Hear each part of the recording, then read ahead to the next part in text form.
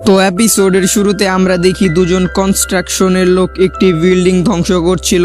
তখন সেখানে ক্ল্যান্সি নামে একটি লোক আসে, যার কাছে পোকামাকড় কন্ট্রোল করার শক্তি রয়েছে। ক্ল্যান্সি ওদের বলে, এখান থেকে চলে যাও। তখন ওই দুজন লোক বলে কাউন্সিল ওমেন আমাদের এই বিল্ডিংটি ধ্বংস করার অনুমতি দিয়েছে, তো তুমি এখন এখান থেকে চলে যাও। তখন ক্ল্যান্সি ওদের ওপর তার পোকামাকড় দিয়ে হামলা করে। তো এপিসোডের পরের অংশে যাওয়ার আগে বলে দিই, আপনি যদি আগের এপিসোডের ভিডিও দেখে না থাকেন, তবে আমার চ্যানেলটি ঘুরে আসতে পারেন। পূর্বের সকল ভিডিও রয়েছে, আর চ্যানেলে নতুন হলে সাবস্ক্রাইব করে দিতে পারেন। আর ভিডিওটি ভালো লাগলে অবশ্যই লাইক ও কমেন্ট করে দিবেন। তো ব্যাক টু দ্য এপিসোড। অন্যদিকে একটা চোরকে দেখি যে চুরি করে পালাচ্ছিল, গোয়েন ও গ্র্যান্ডপা আরভিতে করে ওকে ফলো করছিল। এদিকে আমরা ব্যানকে দেখি যে আপগ্রেড হয়ে একটি বাইকের সাথে মার্চ হয়ে চোরের পিছু করছিল। অনেক দৌড়াদৌড়ির পর ব্যান আপগ্রেডের লেজার পাওয়ার দিয়ে একটি হামলা করে আর গাড়ির পেছনের অংশ ভেঙে যায় আর সকল টাকা বাইরে পড়ে যায়। তারপর ব্যান সেই গাড়িটির চাকা পাংচার করে দেয় আর গাড়িটি সেখানে ক্রাশ করে। তারপর ব্যান রবারকে পুলিশের হাতে তুলে দেয়। রবারকে ধরিয়ে দেওয়ার পর ব্যান একটি আইসক্রিম ট্রাক দেখতে পায় এবং ট্রাকের ভেতর ঢুকে পড়ে। এদিকে গ্র্যান্ডপা ও গোয়েন সেখানে আসলে গ্র্যান্ডপা বলে, ব্যান, কোথায়? গোয়েন উত্তরে বলে অনেক দৌড়াদৌড়ি হয়েছে এবং আজকের দিনটা অনেক গরম। তো হয়তো ব্যান ওই ট্রাকের ভেতর রয়েছে। তারপর সেখানে গ্র্যান্ডপা ও গোয়েন আসে এবং এসে দেখে ব্যান কাঁপছে। ব্যানকে নিয়ে তারা তাদের আরবিতে ফিরে আসে। আসলে অতিরিক্ত আইসক্রিম খাওয়ার জন্য ব্যানের খুব সর্দি লেগেছে। তখন গোয়েন সর্দির ওষুধ, মাছ ইত্যাদি বের করে। ব্যান বলে, আমার এই জিনিসগুলোর প্রয়োজন নেই। গোয়েন বলে, এই জিনিসগুলো তোমার জন্য নয়, আমার জন্য। যাতে করে আমার সর্দি না লাগে। তারপর গ্র্যান্ডপা বলে, ব্যানের প্রয়োজন আমার জনপ্রিয় সর্দির ওষুধ সান সানজুইয়ান পিএন নামের ওষুধটি। ভাই, চাইনিজ নাম বলতে একটু সমস্যা হবেই। গ্র্যান্ড গ্র্যান্ডপা ব্যানের জন্য ওষুধ নেয়ার জন্য চায়না টাউনে যায়, সেখানে গিয়ে গ্র্যান্ড গ্র্যান্ডপা ব্যানকে সেই ওষুধটি দেয়। ব্যান গন্ধ শুকে বুঝতে পারে এই ওষুধটা তার জন্য নয়। গোয়েন গ্র্যান্ডপাকে জিজ্ঞেস করে, আপনি এই ওষুধ বানানোর পদ্ধতি কোথা থেকে শিখেছেন? গ্র্যান্ডপা বলে, চায়নার এক শহরে আমি এটা শিখেছিলাম। এদিকে আমরা দেখি কাউন্সিল ওমেন এই শহরকে রিডেভেলপ করার বক্তব্য দিচ্ছে। তখন সেখানে ক্ল্যান্সি কাউন্সিল ওমেনকে আক্রমণ করে এবং তাকে ধরে ফেলে। ব্যান সেখানে ওয়ার্ল্ড মার্টে ট্রান্সফর্ম হয়, কিন্তু সর্দির জন্য কিছু বুঝতে পারে না। ও দেখতেও পারে না। তখন ব্যানের না দেখার ফলে ব্যান আশেপাশে ধাক্কা খেতে থাকে। তখন গোয়েন ব্যানের ওপরে উঠে পড়ে আর ব্যানকে ইনস্ট্রাকশন দিতে থাকে। কিন্তু কাজের কাজ কিছুই হয় না। উল্টো গোয়েন একটি বম ভর্তি দোকানে পড়ে আর হঠাৎ করে সেখানে আগুন লেগে যায়। ঠিক সময়ে গ্র্যান্ডপা আসে আর গোয়েনকে বাঁচিয়ে নেয়। এদিকে ক্ল্যান্সি কাউন্সিল ওমেনকে ধরে নিয়ে যায়। তারপর তারা সবাই আরবিতে বসেছিল। ব্যান বলে পাঁচ ছয় জনের সর্দি শুধু আমারই লেগেছে। তখন গ্র্যান্ড গ্র্যান্ডপা ব্যানকে তার সেই জনপ্রিয় ওষুধ খেতে দেয়। ব্যান না চাইতেও সেই ওষুধ খেয়ে ফেলে।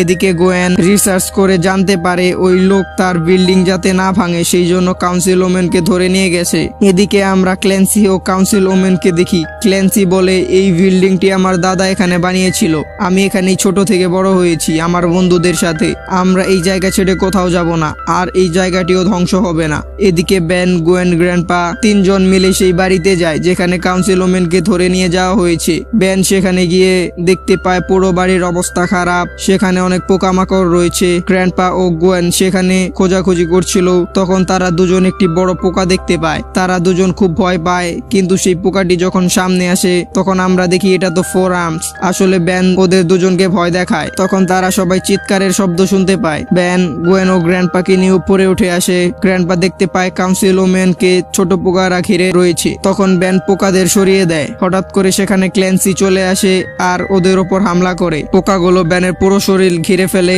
যার ফলে ব্যান শুধু তার শরীর চুলকাতে থাকে আর এসব করতে করতেই ব্যান বাড়িটি ধ্বংস করতে থাকে এবং এক পর্যায়ে পুরো বাড়ি ধ্বংস হয়ে যায়। তবে ফোর আর্মসের কারণে ওরা তিনজন বেঁচে যায়। তখন ব্যানেরও টাইম আউট হয়ে যায় আর তার আসল ফর্মে চলে আসে। এদিকে ক্ল্যান্সি উপরে উঠে আসে। সে দেখতে পায় তার অনেক পোকা মারা গেছে। তারপর ক্ল্যান্সি সেখান থেকে চলে যায় আর বলে যায়, এই পুরো শহর আমি ধ্বংস করে দেব। তারপর কাউন্সিল ওমেন ওদের বলে ওই চার হাতওয়ালা মানুষটা কই? আমি ওকে থ্যাংক ইউ বলতে চাই। ব্যান বলে, আমি ওকে বলে দেব। তারপর কাউন্সিল ওমেন সেখান থেকে চলে যায়। ব্যান বলে, ওই পোকা মানবটি এখন কোথায় যেতে পারে? গ্র্যান্ডপা বলে, পুরো শহর ধ্বংস করা শুধুমাত্র একটি উপায় রয়েছে। তারপর তারা তিনজন সেখানে যায়, যেখান থেকে নিউক্লিয়ার ব্লাস্ট করার মাধ্যমে পুরো শহর ধ্বংস করা সম্ভব। তারপর তারা সেটার ভেতর প্রবেশ করে, তারা যখন যাচ্ছিল তখন হঠাৎ করে অ্যালার্ম বাজতে থাকে। আর অ্যালার্মের শব্দ শুনে তারা দ্রুত কন্ট্রোল রুমে যায়। সেখানে গিয়ে দেখে ক্ল্যান্সি পুরো কন্ট্রোল রুম ধ্বংস করে ফেলেছে। তখন সেখানে ক্ল্যান্সি আসে, ব্যান বলে, যদি এখানে নিউক্লিয়ার ব্লাস্ট হয়, তবে তুমিও আমাদের সাথে রেডিও অ্যাক্টিভ হয়ে যাবে। ক্ল্যান্সি বলে, আমার মনে হয় না।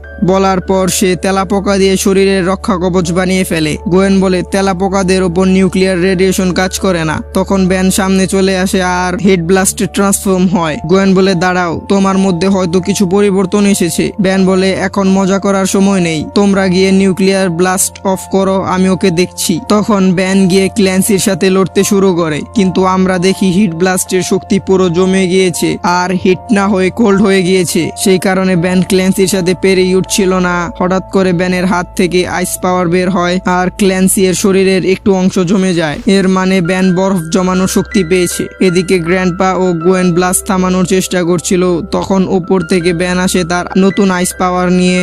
গ্র্যান্ডপা বলে, আমি এটাকে থামাতে পারব না। সকল সিস্টেম অতিরিক্ত গরম হয়েছে। এদিকে ক্ল্যান্সি ব্যানকে হামলা করতে আসলে ব্যান ওকে পুরো বরফে জমিয়ে দেয়। এদিকে নিউক্লিয়ারটি অতিরিক্ত গরম হচ্ছিল, তখন ব্যান সেটিকে তার আইস পাওয়ার দিয়ে পুরো জমিয়ে দেয় আর ব্লাস্ট হওয়া থেকে বেঁচে যায়। তারপর তারা যখন আরবিতে করে যাচ্ছিল, তখন ক্ল্যান্সি ওদের উপর হামলা করে। ব্যান ওই পোকাদের মধু দেখে আকৃষ্ট করে, গাড়ি থেকে বের করে দেয়। তখন গ্র্যান্ডপা ক্ল্যান্সিকে একটি জোরে ঘুষি মারে আর ক্ল্যান্সি আরবির বাইরে গিয়ে পড়ে। আর গ্র্যান্ডপা পুলিশকে কল করতে চলে যায়। তখন আমরা দেখি গোয়েনেরও সর্দি লেগেছে। ব্যান বলে শেষ পর্যন্ত সবকিছু ঠিক হয়ে গেছে। আর এখানেই ব্যান্টেন ক্লাসিকের সিজন ওয়ানের এপিসোড টুয়েলভ সাইড ইফেক্ট এর ফুল স্টোরি এক্সপ্লেনেশন শেষ হয়।